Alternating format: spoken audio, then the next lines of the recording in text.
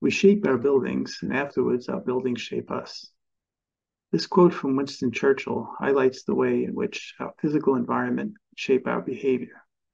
Similarly, the way we shape technology shapes us. Technology is an integral part of our lives, rapidly advancing in ways that shape who we are as individuals and as a society. This quote is especially relevant when discussing the metaverse. Metaverse is an immersive platform enabling new dimensions of reality accessible through virtual environments. It will revolutionize industries such as manufacturing, education, healthcare, and government. But at the same time, it raises questions on its impact on societal norms, sustainability, and ethical use of the metaverse. We'll be faced with new challenges, including scale, data integrity, privacy, security, and difficulty replicating the complexity and unpredictability of the real world. Welcome to the metaverse from edge to cloud, where we'll be discussing the challenges and importance of open communities to create the metaverse in a way that will benefit all. I'm Tom from Hewlett Packard Enterprise, and I work in the Advanced Development Group, where I focus on cloud native infrastructures, especially how they support open platforms such as the metaverse. I also represent HPE in open communities such as the CNCF, among others. My collaborators, Marcus, Jeroen, and I, have put together this session to explore the metaverse's potential and to revolutionize the way we interact with technology, our jobs, ourselves. We'll be discussing the challenges faced in the journey towards the metaverse and thoughts on how and why open communities are critical to achieve the ultimate value that the metaverse can deliver.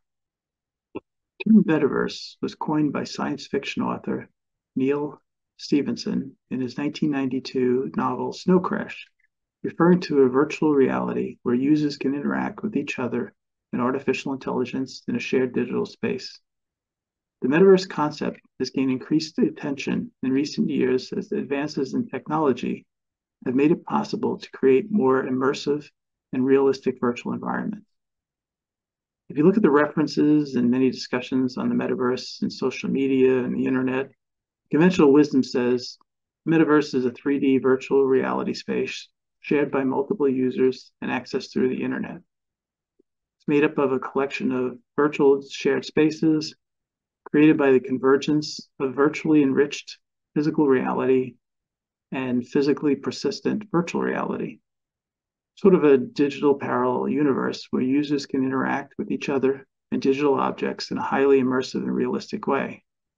Now, this could include virtual environments such as video games, virtual worlds, as well as social media platforms and other digital spaces, like the ability to participate in activities that may be impossible in a physical world.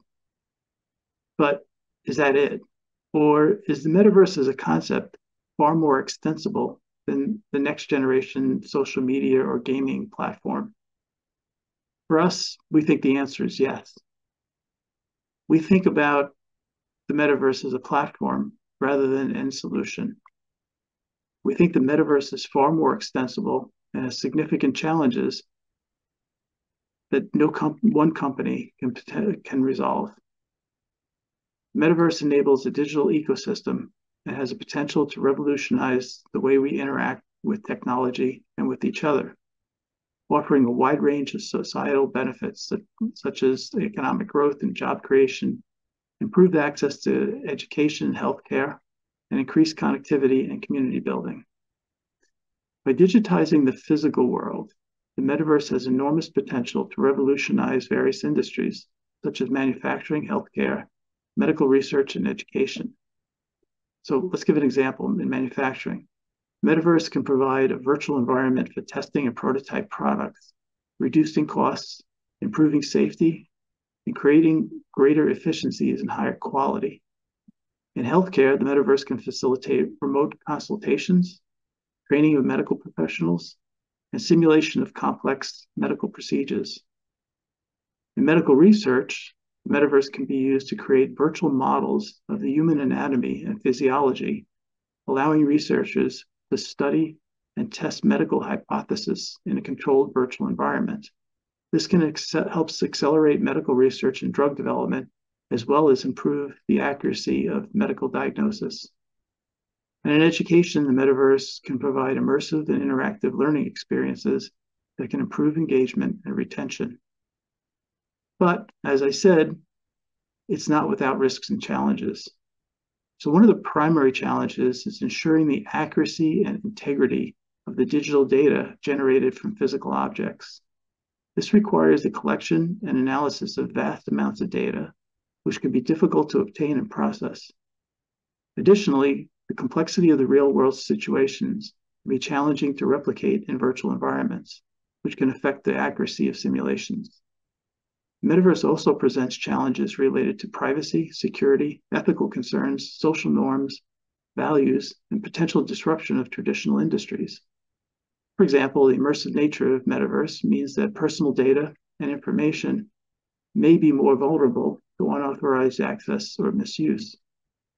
Additionally, the growth of virtual communities may challenge traditional concepts of physical space and community, which could impact industries like tourism, entertainment, retail. But the metaverse isn't a single technology. It's an integration of several existing and emerging technologies that are sometimes used as independent solutions.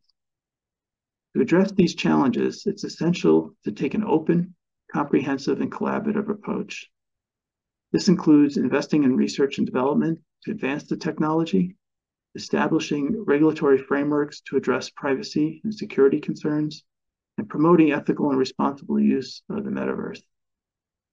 More importantly, the open model used by open communities such as the Linux Foundation is required to provide uh, governance, mitigate risks, and meet the challenges faced to achieve the positive outcomes that metaverse can bring. By taking that open, comprehensive, collaborative approach, we can unlock the full potential of the metaverse and create a more immersive and connected world. So let's take a look at some of the technologies that power the, the metaverse. The first one, which is the one that's most spoke, spoken about, virtual reality and augmented reality. So in the metaverse, VR and AR technologies enable users to immerse themselves in a digital environment and interact with it using a range of sensory inputs, such as sight, sound, and touch. VR allows the users to fully immerse themselves in the digital environment, while AR adds virtual elements to the real world. Blockchain technologies enable secure transactions and establishes digital asset ownership and decentralization. Blockchain has the potential to enable a more secure, transparent, and decentralized metaverse, enable users to have greater control over their virtual experiences and virtual assets. Generative AI technique is a technique using machine learning algorithms to produce new data that's derived from data that has been used for its training. It allows for the automatic creation of new content, such as images, text, and music, without explicit programming. Generative artificial intelligence can be used to create more realistic and intelligent virtual characters and environments and enable more advanced interactions or interactions between users and digital objects. 5G networks provide faster and lower latency data transfer speeds and greater network capacity, which would en enhance the virtual reality experiences. These benefits can create a more seamless, real time, immersive, and engaging metaverse experience for the users. And last is spatial computing. Spatial computing enables the creation of digital objects that are aware of their physical surroundings which can enhance the immersive, interactive, and personalized virtual experiences, blurring the lines between the physical and virtual world. So, the metaverse is a complex technical environment that requires a wide range of capabilities in order to support its many different use cases. In many ways, the metaverse is the catalyst for enabling viral innovation in advancing cloud native architectures. So let's take a look at some of the key technical requirements that developers will need to consider when building the metaverse. Scalability. One of the most important technical requirements for the metaverse is scalability. The metaverse will need to be able to support millions of users simultaneously, and this will require a highly scalable infrastructure that could handle the massive amounts of, of traffic. Developers will need to, the ability to scale up or down their applications as needed in order to ensure that the metaverse remains stable and reliable, even under heavy usage. Cloud native architectures, such as using microservices, allow applications to be broken down into smaller, independently deployable services. This means that each service can be scaled independently, allowing developers to easily add or remove resources where necessary as required to handle the changes in demand. In addition, cloud providers can offer auto-scaling capabilities that can automatically adjust the resources based on traffic and utilization for CPU, memory, etc. And that would ensure that the metaverse can handle even the largest user loads. Elasticity. In addition to the scalability, metaverse also needs to be highly elastic, meaning that it can be adjust itself, adjust its resources in real time in responding to changes in demand from the users. This is going to require developers to use technologies such as container orchestration, auto scaling, which automatically adjust the number of containers and serve on a or servers running applications and responses, in response to changes in demand. Cloud native architectures fit this perfectly. So cloud native architectures enable elasticity by providing automated provisioning and deprovisioning of resources.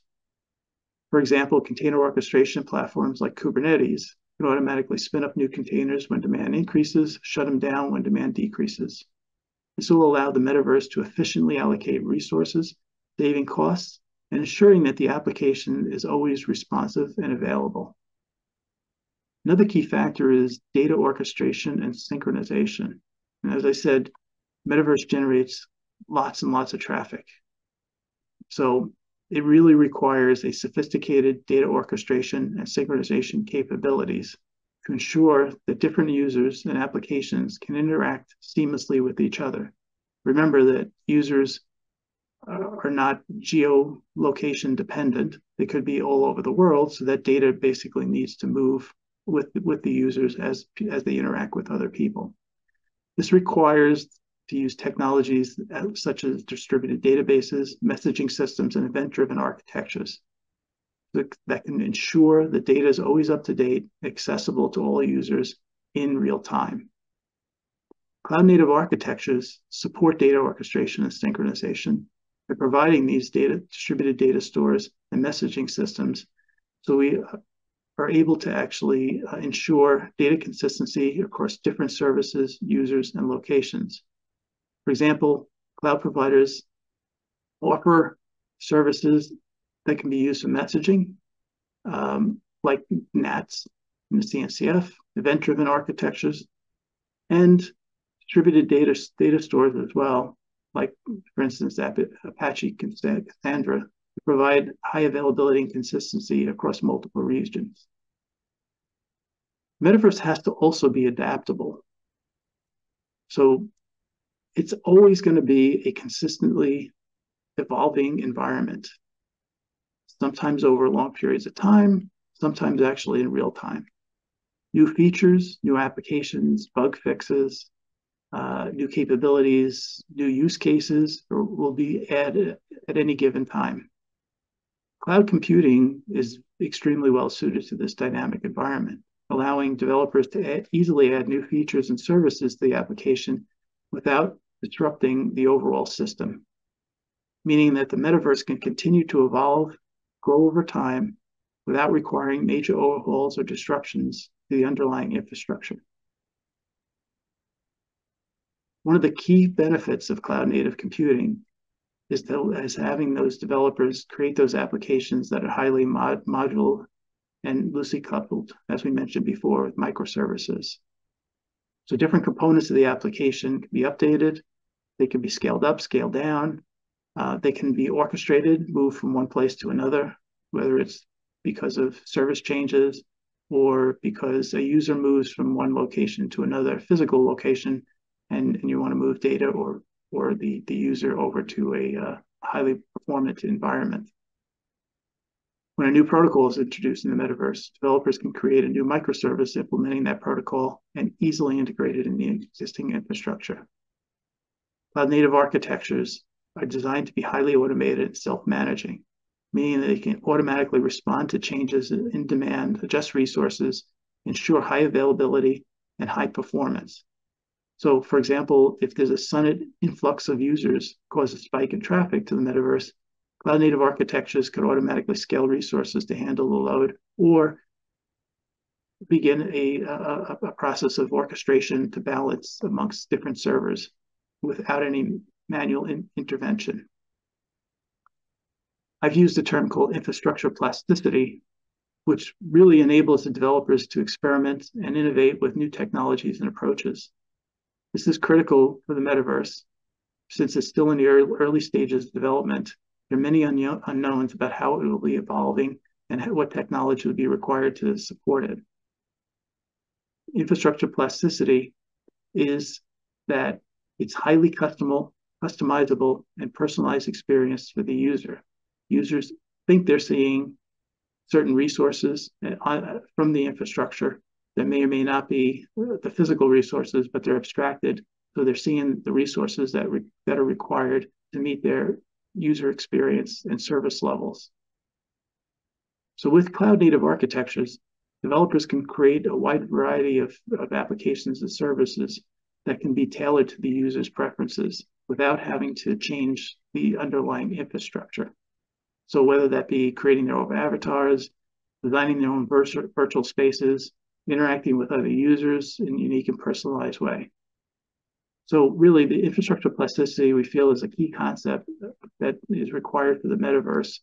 Um, it's an emerging concept at this point, uh, but we're seeing more and more work around that area. So, and basically it provides that ability to adapt and meet changes in real time.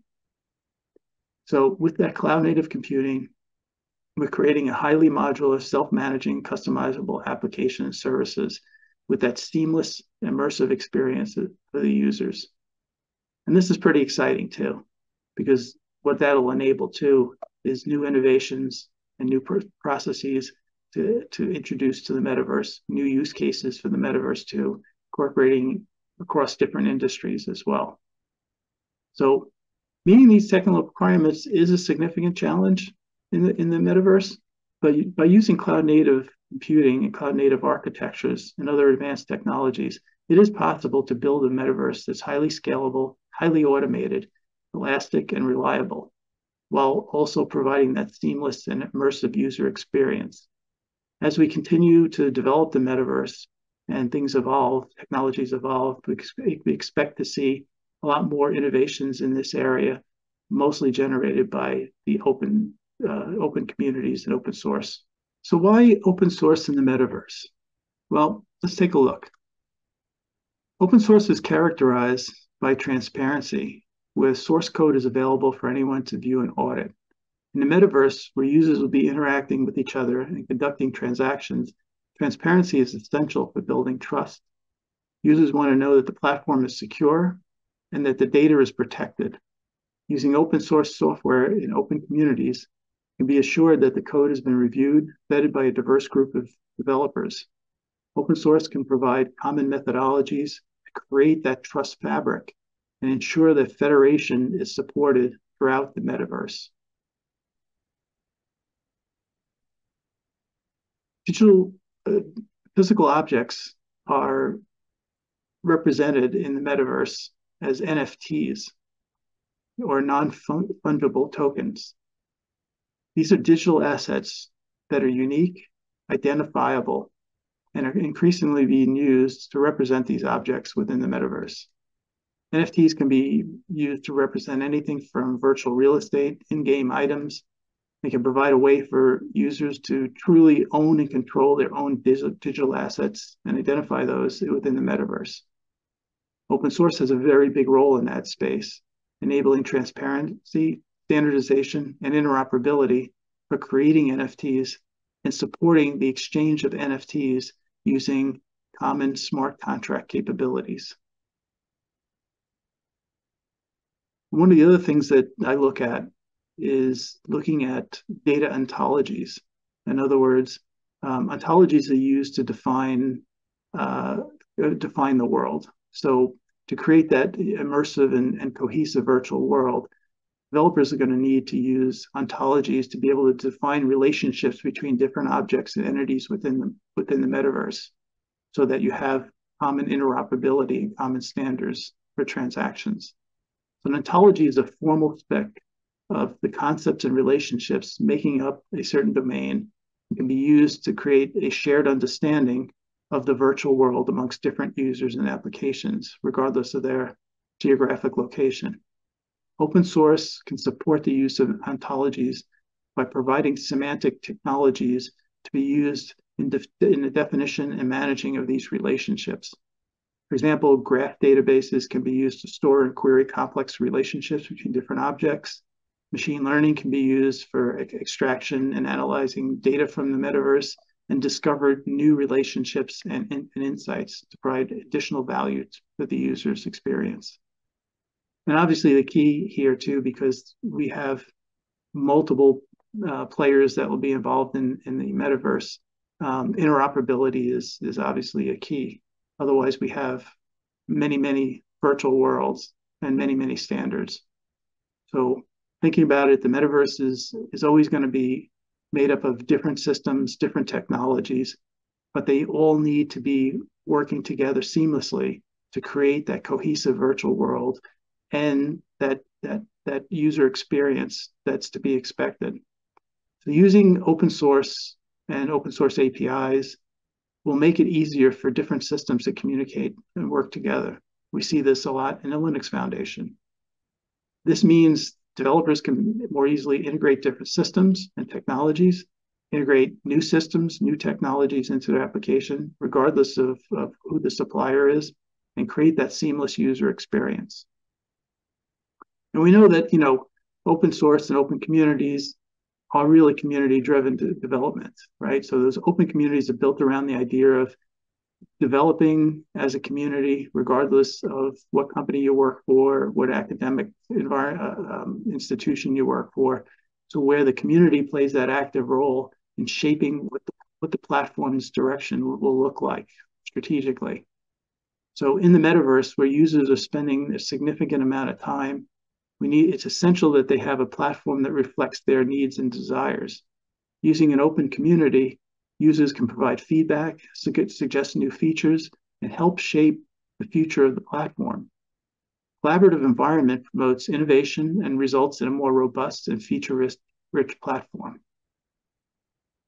Open source and open communities also can contribute to the sustainability and longevity of the metaverse. In that metaverse, development of the platform is ongoing. It's essential to have a community that's committed to the platform's success. Open communities promote sustainability encouraging the community participation and contribution. Building that community that is committed to the platform's success, the metaverse can thrive and, and continue to evolve and innovate over time. So really open source is essential to the success of the metaverse. Collaboration, transparency, community-driven development, accessibility, inclusivity, sustainability, and longevity are the essential components of a successful metaverse. By using open source software, building open communities, you can create that platform that reflects the needs and desires of the users and fosters a collaborative and innovative environment. In the last slide, we talked about open software. Let's take the discussion up a level and talk a little bit about open communities. Open communities play a crucial role in accelerating information innovation for the metaverse by fostering collaboration, knowledge sharing, best practices, and experimentation amongst individuals and, and organizations working on the metaverse related projects. Let's take a look at some, some ways that open communities can contribute to innovation and drive the next generation of metaverse. So open communities can bring people together from diverse background and skill sets who share that common interest and are driven to make the metaverse happen and make it uh, accessible to everybody. By collaboration on the projects, sharing ideas and best practices, individuals can bring their own unique perspectives and expertise to the table leading to greater innovative solutions. This could be done through online forums, uh, GitHub, webinars, uh, conferences like the Linux Foundation Open Source uh, Summits, um, and other virtual events, virtual and in-person events. In the experiment, experimentation, open communities can encourage experimentation, providing access to tools, resource, and funding opportunities that enable individuals to explore new ideas, new concepts related to the, to the metaverse. Standardization is always a key. Open communities can establish and promote standards that enable interoperability and compatibility between different metaverse projects.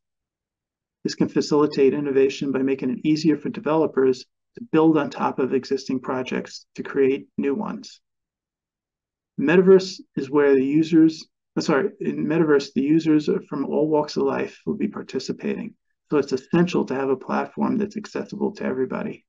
Open communities foster diversity and inclusion by welcoming people from different backgrounds and perspectives, ensuring that it's a reflection of the people that use the platform.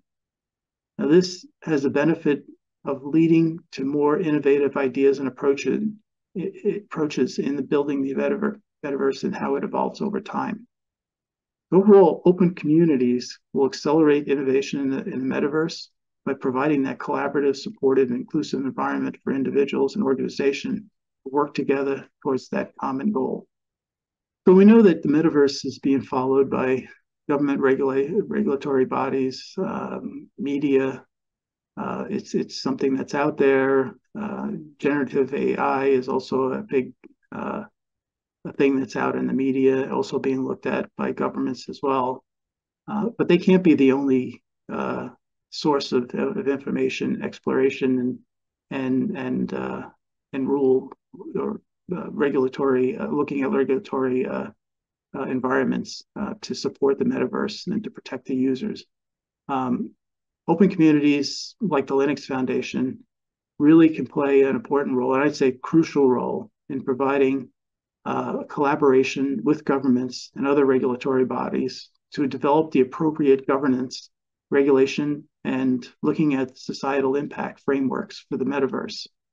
This collaboration will help ensure that the metaverse operates within legal, ethical boundaries and that the interests of all people, all stakeholders, and users are taken into account.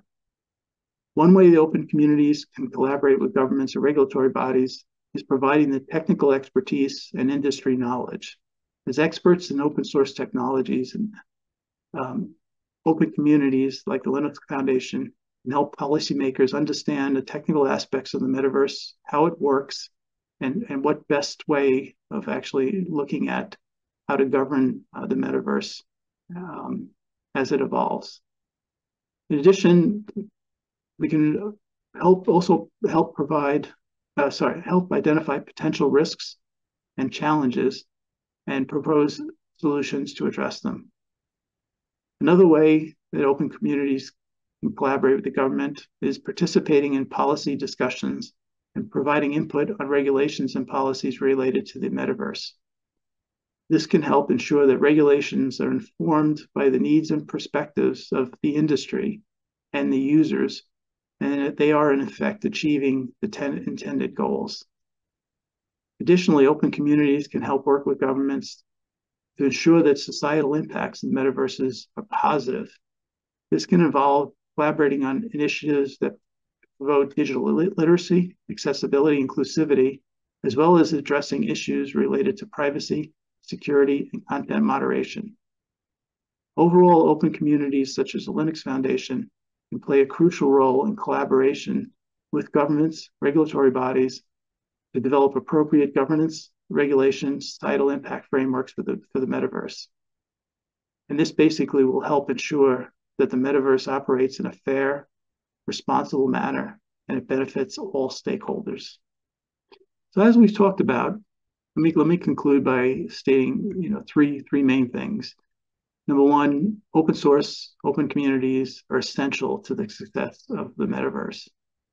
Number two, collaboration, transparency, community-driven development really are essential to be able to build the metaverse and innovate and create and ensure that the metaverse evolves and, and is beneficial to all. And by using open source software and building open communities, we create that platform that reflects the needs and desires of the users and fosters a collaborative and innovative environment. So thank you for uh, attending and uh, and feel free to reach out to, to one of the three of us uh, for any questions and looking forward to uh, to hearing from you. Thank you very much.